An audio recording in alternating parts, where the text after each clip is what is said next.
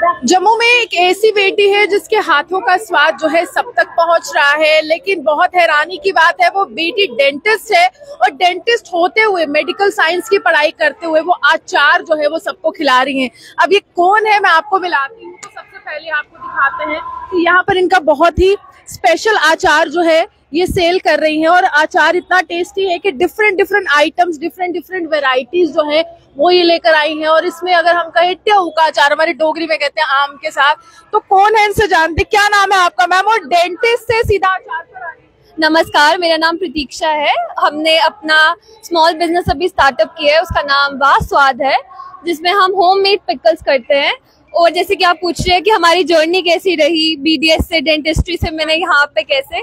Actually हमारा एक ही मोटो था कि हम अपने देश की औरतों को एम्प्लॉयमेंट दिलाए, वो आगे बढ़े। तो उस चीज़ को मायने रख के मेरे को ये चीज़ का आइडिया सबसे अच्छा लगा और मेरी मम्मा, मेरी बड़ी माँ, उनके हाथ पे जो टेस्ट स्वाद है, वो अनबीटेबल है। आप जो बचपन में आपको टेस्टी लगता था, आपने उसको एक प्रोजेक्ट बिल्कुल बिल्कुल बिल्कुल बिल्कुल ऐसी बात है। हमने उसी को प्रोजेक्ट में आपके सामने लाया है और हम इस चीज़ की गारंटी देते हैं कि आपको ऐसा स्वाद ऐसी चीज़ आपको कहीं नहीं मिलेगी।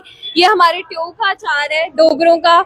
हमारी आजकल की लेडीज़ यहाँ जम्मू की बिल्कुल बिल्कुल बिल्कुल। ये हमारे वाह स्वाद का ट्यूब का अचार है और ये हमारी मिर्ची का अचार है तीखी मीठी मिर्च। लेकिन इसमें मीठा क्यों डाला? मीठा तो होता ही नहीं है।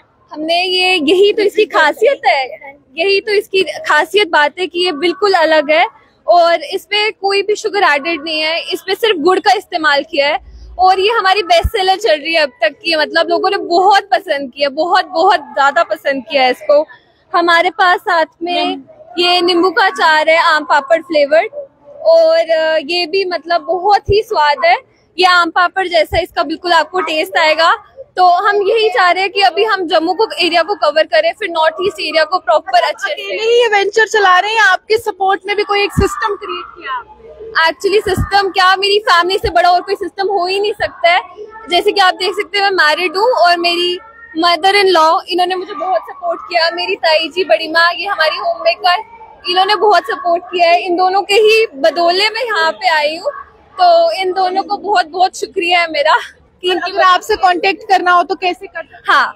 आप हमें इंस्टा पे कांटेक्ट कर सकते हैं वासवाद के नाम पे। हमारा ये नंबर भी है। आप इसके थ्रू भी हमें कांटेक्ट कर सकते हैं।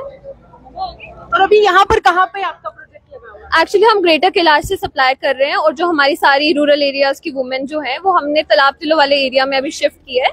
तो वहाँ से ही अभी हम अपना अचार बनाते हैं। कुछ लोग बोलेंगे कि एक डेंटिस्ट है उनको डेंटिस्ट के वहाँ पर ही जाना चाहिए था। अच्छे हॉस्पिटल में वो अचार बेचे कुछ लोग तो इसको अनएम्प्लॉयमेंट के साथ भी रिलेट नहीं नहीं नहीं ऐसा बिल्कुल भी नहीं है। मेरे ख्याल से जहाँ आपको सेटिस्फैक्शन मिलती है जहाँ आपको हैप्पीनेस मिलती है अपना काम करने में आपको वो चीज़ करनी चाहिए। डेंटिस्ट्री से मैं लोगों तो अपने पेशेंट्स को सर्व कर रही थी और यहाँ पे अपने सारे जम्मू वासियों को सर्व कर रही हूँ अभी इतने सारे लोगों को हाँ और हमने अपने कितना अच्छा लग रहा है कि एक अच्छी फ़ील्ड चुनी और डिफरेंट बहुत अच्छा लग रहा है। मैं जम्मू में काफ़ी समाज सेवा का काम करती हूँ। बीस साल लोग हैं मुझे यहाँ काम करते हुए समाज सेवा का। पहले मैं धर्म जागरण में भी काम किया और अभी विश्व मांगली में भी और स्वदेशी जागरण मंच से हमें ये प्रेरित मिला कि हम ये होममेड जो है अपने अपना सामान बना के जो हम जिसके में हम परिपूर्ण है तो उसको हम आगे लाएँ। वोकल फॉर लोकल का नारा बिल्कुल बिल्कुल बिल्कुल। तो ये हम मैं स्वदेशी जागरण मंच से भी रिलेटेड हूँ मैंने कहा है।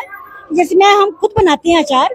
और स्वाद भी है, इसमें कोई कंप्रोमाइज नहीं किया गया किसी भी प्रोडक्ट को लेकर के। स्वाद भी और साथ में हमने देखो, स्वाद के साथ साथ बीस वुमेन्स को भी वर्क दिया है। हम काम भी दे रहे हैं। और मैं इसमें बहुत खुश हूँ कि हमारे साथ बीस लेडीज़ लगी हुई हैं, काम कर रही हैं। हमारी देश की नारी में बहुत शक्ति है। वो इतनी शक्तिशाली है कि वो हर काम कर सकती है। कोई भी काम छोटा बड़ा नहीं होता। हम ये नहीं कहेंगे कि अचार का काम छोटा है, काम बहुत अच्छा है, जिसमें हमें तसल्ली और सेटिस्फेक्शन है।